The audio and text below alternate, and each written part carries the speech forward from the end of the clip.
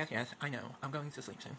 But I want to remark, I'm a um, pundit, so a lot of the argument against transgender people these days has been concerning the lie of genital mutilation of children, and why that does happen, like, in extremely rare cases, mostly due to physician malpractice and non-compliance with standards of care.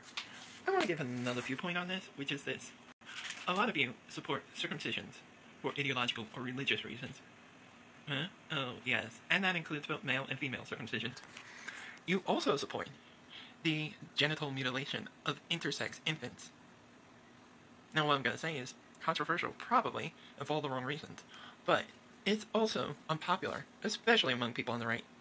That is, if we are going to talk about genital mutilations, let's first talk about stopping the genital mutilations of intersex infants, or any infant, for religious or ideological purposes. The fact that we feel it's right to mutilate the genitals of an infant due to our belief in some magic system is an affront to our humanity.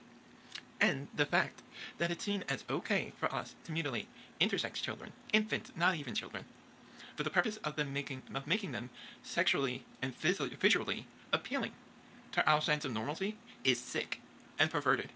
And if you back that, but use genital mutilation as a talking point against transgender people, you are not talking against groomers. You are the groomers. Have a night. And for the rest of you, as always, you're all loved, you're all valid, and you are all appreciated. And I will see you on the flip side.